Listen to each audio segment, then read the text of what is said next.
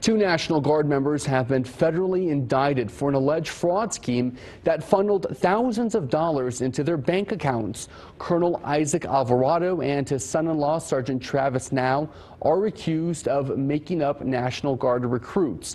New recruits are entitled to sign-on bonuses, so with fake recruits, they allegedly funneled the sign-on bonuses into their own personal accounts. Court documents state they got a total of $12,000 with this scheme.